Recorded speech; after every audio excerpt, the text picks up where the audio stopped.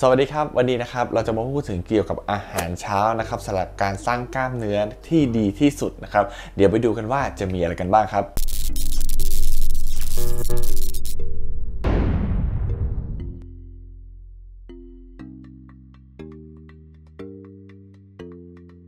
สำหรับการสร้างกล้ามเนื้อนะครับ อาหารเนี่ยจำเป็นมาก ๆ เลยครับ โดยเฉพาะอาหารเช้านะครับ ถ้าเกิดว่าเราเนี่ยไม่มีแคลอรี่ หรือว่าอาหารเนี่ยเข้าไปในร่างกายเนี่ยร่างกายของเราเนี่ยก็ไม่สามารถที่จะสร้างกล้ามเนื้อได้นั่นเองครับ เพราะฉะนั้นนะครับร่างกายของเรานะครับควรที่จะได้รับสารอาหารที่มีประโยชน์ และมีแคลอรี่ที่ค่อนข้างสูง เพื่อเหมาะกับเป้าหมายที่เราได้วางไว้ นั่นคือการสร้างกล้ามเนื้อนั่นเองครับการสร้างกล้ามเนื้อนะครับเราไม่สามารถที่จะกินน้อยนะครับแล้วกล้ามมันจะโตได้เราราต้องกินให้เยอะกว่าที่ร่างกายต้องการ หรือว่าพอดีกับที่ร่างกายต้องการนั่นเองครับหลักการเลือกอาหารเช้านะครับหนึ่งเลยนะครับ เราควรที่จะเลือกคาร์โบไฮเดรตนะครับที่มีพลังงานสูง มีไฟเบอร์ทำให้อิ่มท้องนานนั่นเองครับโปรตีนนะครับเราควรที่จะเลือกแบบย่อยง่าย ๆ ดูดซึมได้ไว เพราะว่าเราสามารถที่จะนำไปสร้างกล้ามเนื้อได้ไวเช่นกันครับ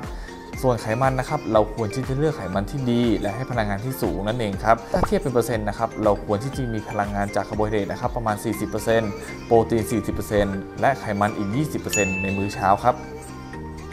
สำหรับอาหารเช้าผมนะครับก็คือนี่เลยครับ ก็จะเป็นพวกไข่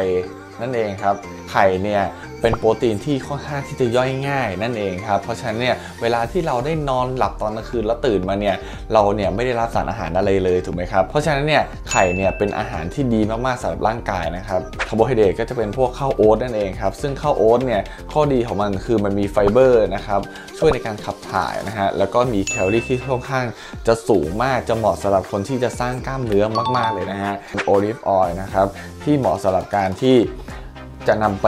ผัดหรือทอดนิดนึงนะฮะ อันนี้ผ่านความร้อนได้นิดนึงนะฮะ อันนี้เป็น trick นะครับ ถ้าเกิดว่าใครเนี่ยที่จะเลือกซื้อนะครับ มันจะมีขึ้นบอกเลยว่า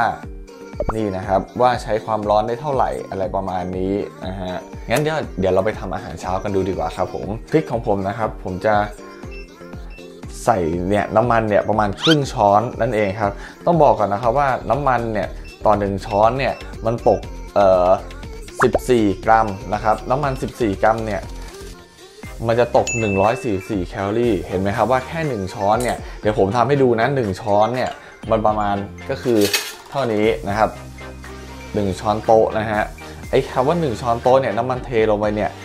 144 แคลอรี่แล้วอะ่ะ เห็นไหมครับว่าถ้าเกิดว่าใครเนี่ย ที่ไปกินพวกของทอดหรือว่าพวกไก่ทอดหรือว่าจะเป็นพวกแบบอะไรทอดๆทั้งหลายเนี่ย ไข่เจียวอะไรเงี้ย จะเห็นเลยว่าโหแคลอรี่จาก น้ำมันเนี่ยมันเยอะมากๆเลยนะฮะ เวลาที่ทิกผมทำเนี่ยผมก็จะทำอย่างนี้ครับ ก็คือเทลงช้อนลงไปนี่ประมาณครึ่งช้อนนะครับ นี่ครึ่งช้อนเห็นไหมไอ้ครึ่งช้อนเนี่ยมันตกแล้วนะครับ ครึ่งหนึ่งก็คือ 70เท่าไหร่72แคลอรี่แล้วอะ่ะโอ้โหเนี่ยเราก็จะเนี่ยแค่นี้เอง อันนี้ 72 แคลอรี่นะนะฮะเป็นอาหารที่หลาย ๆ คนถามนะ ก็คือไข่ขาว นะครับนะไข่ขาวเนี่ย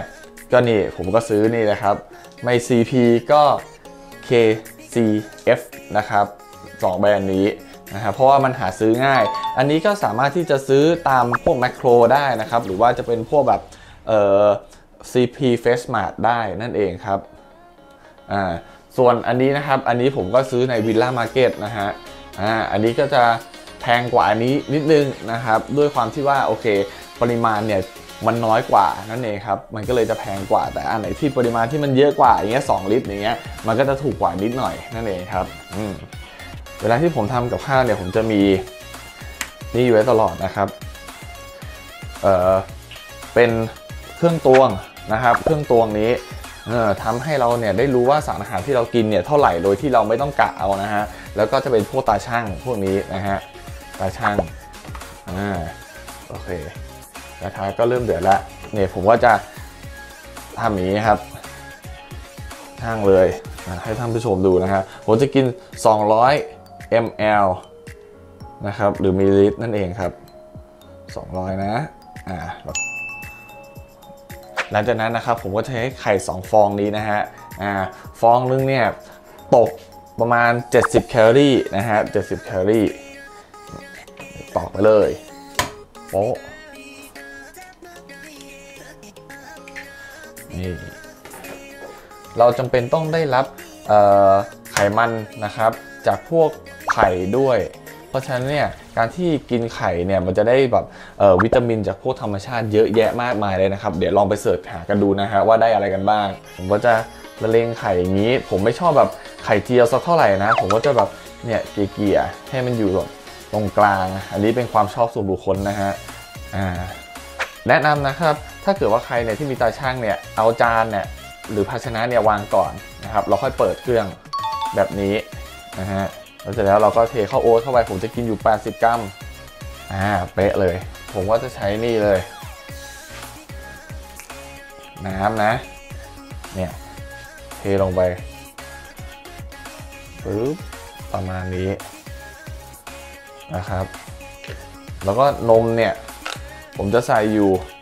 100 ml นะครับอันที่ผมเลือกนมเนี่ยเป็นเพราะว่าเออผมต้องการที่จะได้รับพวกแบบประโยชน์จากนมวัวแท้ๆนะครับผมจะไม่ใช้พวกแบบเวหรืออะไรพวกนี้ เพราะว่าผมต้องการแบบสารอาหารจากธรรมชาติมากกว่า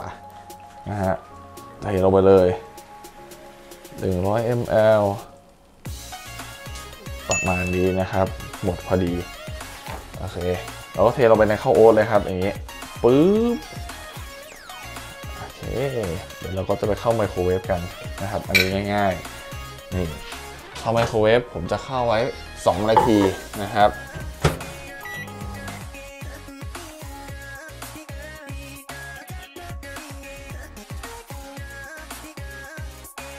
โอเคครับ อันนี้ก็ระหว่างรออาหารนะ ผมแนะนำเลยว่าถ้าเกิดว่าใครเนี่ยอยากสร้างกล้ามเนื้อนะครับ หรือว่าอยากที่จะไม่ต้องสร้างก็ได้ แล้วก็ลีนอย่างเงี้ย หรือว่าลดไขมันเงี้ยจำเป็นนะครับ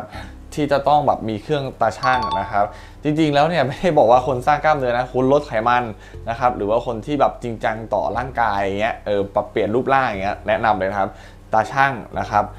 นี่แล้วก็เครื่องตวงนะครับจำเป็นเดี๋ยวตอนนี้ข้าวโอ๊ตก็เสร็จแล้วนะมันก็จะออกเป็นหน้าตาอย่างนี้ครับ